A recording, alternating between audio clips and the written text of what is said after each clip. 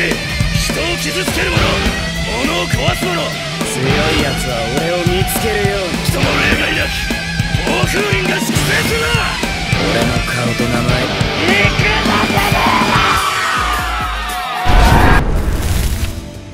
Pada video kali ini, kami pun akan kembali menjelaskan dan juga menceritakan mengenai jalannya alur cerita lengkap dari manga Bakuato Breaker chapter yang terbarunya, yaitu rangkuman penjelasan singkat dari manga Bakuato Breaker chapter yang ke-143-nya.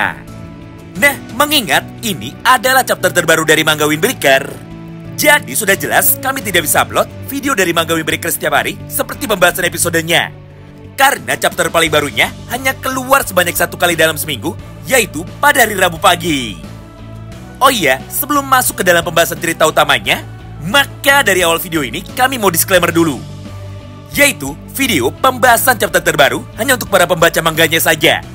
Jadi buat kalian yang ingin mengikuti jalannya alur cerita dari versi episodenya, maka kalian bisa langsung skip video ini saja dan tunggu sampai video versi episodenya diupload pada hari Rabu besok. Namun jika kalian masih penasaran, maka tentu saja kalian bisa simak terus ya video ini sampai habis. Manga Bakuatomi Breaker chapter yang ke-143 dibuka dengan sebuah potongan panel cerita singkat yang luar biasa menarik. Mengingat pada halaman pertama ini, kita pun dapat menyaksikan sama-sama bahwa setelah pertarungan mereka sempat berhenti, setelah melihat satu buah lemparan kursi yang datang dari arah atas gedung sekolah mereka, maka di momen yang sama ini, pertarungan di antara Sakura dan juga Yamato Endo akhirnya kembali dilanjutkan. Sederhananya, Sakura yang sekarang sudah menjadi sangat fokus dengan pertarungannya melawan Yamato Endo, akhirnya langsung mencoba untuk bisa mengajar tubuh dari Yamato Endo lagi dengan menggunakan beberapa combo serangannya. Mulai dari pukulan tangan kanannya, lalu disambung dengan pukulan tangan kiri yang diarahkan oleh Sakura Ruka menuju ke arah kepala dari Yamato Endo. Menyaksikan semua hal itu di depan matanya, Endo yang terlihat sangat senang akhirnya mulai berkata seperti ini di dalam hatinya. Haha, bocah itu sekarang sudah berada pada level yang berbeda. Karena tingkat fokus dari Sakura sekarang hanya tertuju kepada diriku saja.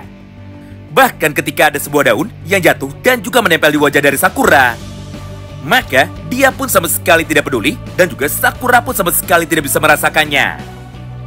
Nah, akibat fokus dari Sakura yang saat ini sudah meningkat seperti itu, alhasil pergerakan dari dirinya kini juga ikut berubah. Berdasarkan hal itu, aku pun menjadi sangat tertarik kepada bocah itu. Karena pada dasarnya, dialah yang sekarang aku butuhkan untuk bisa bergabung ke dalam kelompok Shadow. Sementara itu, respon yang sangatlah berbeda justru malah terlihat dari sudut pandang Sakura. Mengingat pada halaman yang berikutnya, dia pun akhirnya seketika langsung menghilang dari hadapan Endo. Lalu dengan gerakan seperti ini, dia pun tiba-tiba saja langsung muncul lagi, tepat dari arah bawah Endo. Sambil melancarkan satu buah teknik tendangan berputar yaitu dengan menggunakan kaki kanannya. Sayangnya, semua serangan dari Sakura barusan ternyata masih mampu ditahan dengan sempurna oleh Yamato Endo. Dengan menggunakan pergelangan tangan kanannya sambil tersenyum kepada Sakura. Tapi sepertinya combo serangan dari Sakura barusan ternyata masih belum berakhir sampai di situ. Mengingat pada kesempatan ini, Sakura pun akhirnya kembali melompat menuju ke arah tubuh dari Endo sambil melayangkan satu buah tendangan terbangnya lagi. Beruntungnya, untuk yang kesekian kalinya, Endo pun masih mampu membaca dengan sempurna semua gerakan dari Sakura barusan. Lalu di saat yang bersamaan, Endo pun segera melancarkan satu buah serangan baliknya. Dengan cara berputar menuju ke arah belakang dari tubuh Sakura. Kemudian ketika Sakura sudah mulai lengah, maka Endo pun langsung menangkapnya dari arah belakang dan juga mengunci pada gerakan dari Sakura dengan sangat kencang sambil berteriak seperti ini kepada Sakura.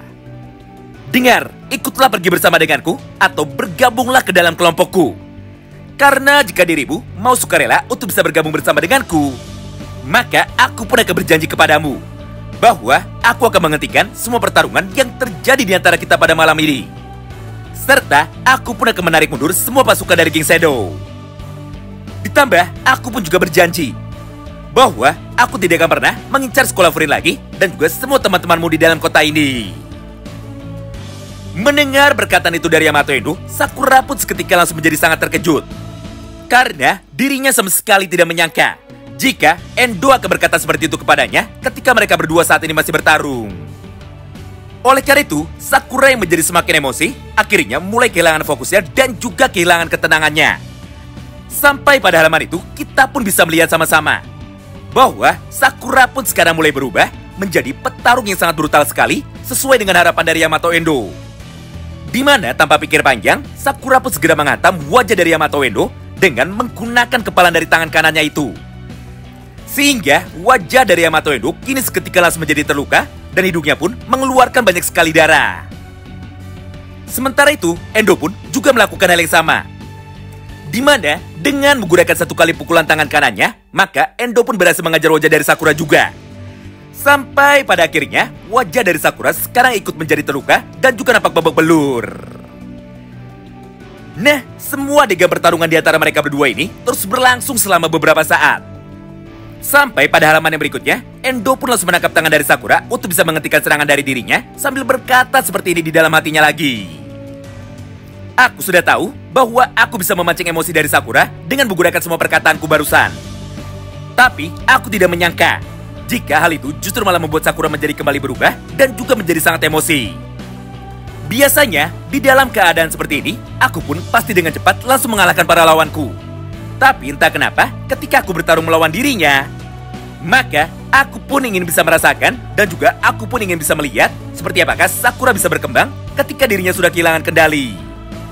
Jadi berdasarkan hal itu, maka aku pun akan memancing emosinya lagi.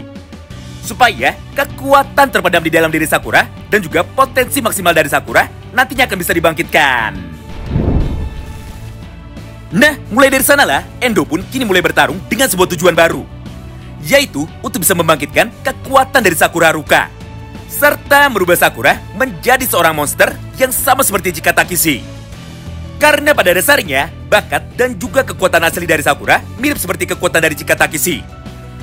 Mengingat jika semua teman-teman dari Endo yang lain, yaitu para anggota dari Noroshi, hanya memiliki sebagian kekuatan saja yang mirip seperti kekuatan dari Chika Takishi.